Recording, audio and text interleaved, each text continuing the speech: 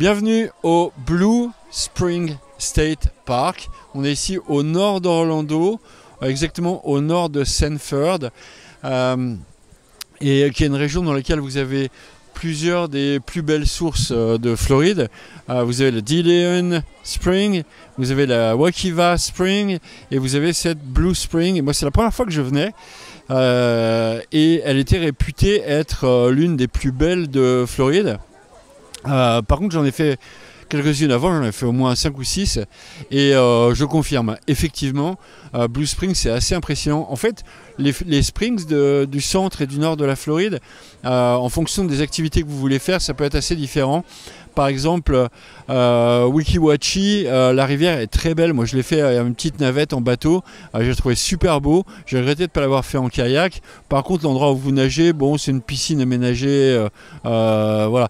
Donc, en fait, à chaque Spring, vous avez des, activités un petit peu différentes. Euh, ici, c'est vraiment pour la beauté de la rivière. Euh, vous n'avez pas de, piscine aménagée euh, comme on trouve dans d'autres euh, springs, comme Wikiwachi, vous avez une piscine. À Dillion, vous avez une piscine. Ici, il n'y a pas de piscine. La piscine, c'est la rivière. Elle est sublime. Quand vous remontez jusqu'à l'endroit où je suis, ici, à la source, c'est vraiment tout bleu. C'est étonnant. L'eau est transparente. et vous avez à peu près 500 mètres de, rivière qui s'appelle la Blue Spring Run et elle se jette dans la fameuse St. John River, qui est la plus grande euh, rivière, le plus grand fleuve de Floride. Euh, qui euh, lui-même à cet endroit-là est absolument magnifique. Il y a des bateaux à roues qui partent de Sanford. J'ai fait la vidéo sur, sur, sur ces bateaux à roues aussi, vous pouvez la retrouver. le bateau à roues sur la St. John's River, c'est superbe. à la jonction de cette spring et de euh, la St. John River, un petit peu plus bas, à l'intérieur du State Park, vous avez des locations de kayak. Donc vous pouvez euh, soit aller sur la St. John's River, il y a des petites îles, c'est très très beau à faire, soit venir ici sur euh, la Blue Spring sur à peu près 150 mètres. nous on a fait les deux en une heure, mais vous pouvez, si vous aimez ça, faire de la photo, faire de la pêche, faire du sport en kayak vous, ou en canoë, vous pouvez rester euh, euh, louer vos, vos, vos, canoës ou vos kayaks pendant 4 heures ou toute la journée euh, à la concession qui est à l'intérieur du parc.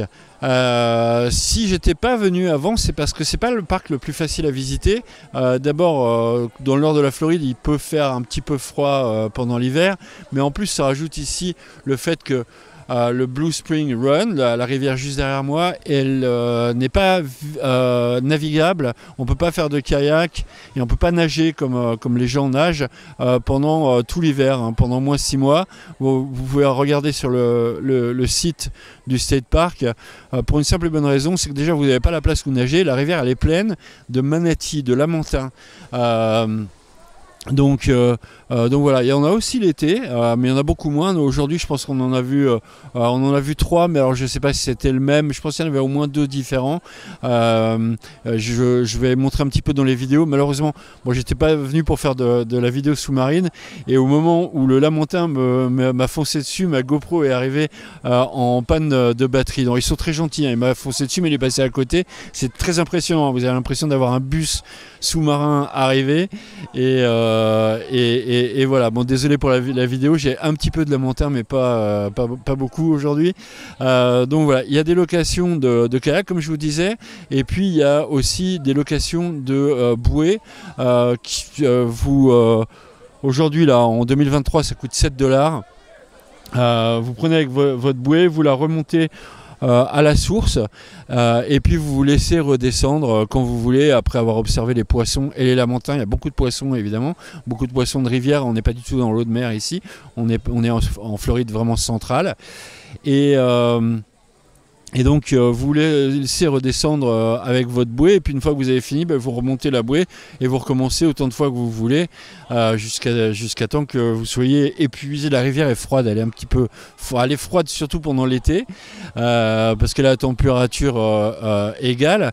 il faut savoir que juste en dessous là, Juste en dessous, il y a un, trou, une faille de laquelle l'eau de la rivière, toute l'eau de la rivière sort de, ce trou. C'est très impressionnant. Il y a des plongeurs qui plongent vraiment profondément. Euh, à l'intérieur. Donc voilà, je vous confirme, euh, le Blue Spring, c'est euh, vraiment, si ce n'est la plus belle source de Floride, c'est l'une des plus belles. il est 7h36 à Blue Springs. Il y a au moins 2 km de fil de voiture à attendre pour rentrer le samedi matin. C'est assez étonnant quand même. Il y a des gens qui ont la musique euh, à l'extérieur, une sono à l'extérieur de leur voiture. Euh, alors comme euh, vous avez pu le voir dans ma, ma, petite introduction, le week-end, le matin, il y a des centaines de véhicules qui attendent.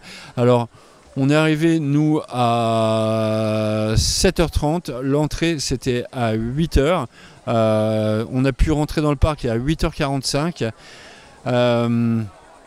Il y avait euh, peut-être 20 euh, ou 30 véhicules derrière euh, nous et les véhicules qui sont arrivés après n'ont pas pu rentrer.